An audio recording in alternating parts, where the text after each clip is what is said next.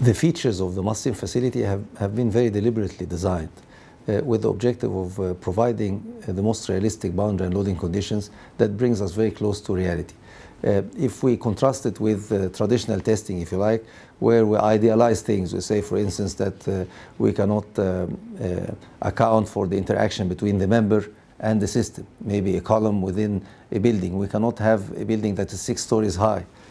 in the lab. Right now, we're actually using the, the interaction between the experimental setup and the analytical tools that we have and the software that MUSTSIM facility has developed, we can indeed virtually test a six-story building, but we focus on the components of the building that we know are most critical, and these will be tested at full scale. In which case, we are really coming not just quite close to reality, but actually we are mimicking reality in terms of the loading and boundary conditions that are imposed on this member as if it was in the building in the field.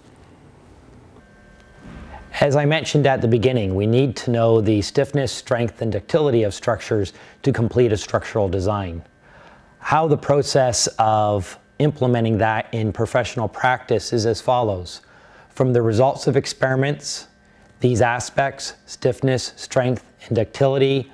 um, gets characterized, relationships for them are developed,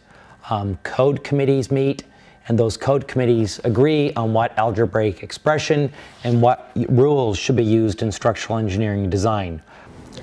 To advance uh, design, uh, the best way forward is to actually modify the code to reflect real behavior. Uh, code drafting committees are totally unconvinced by analytical results because of the idealizations that go into them. So to, if, to affect codes, we have to affect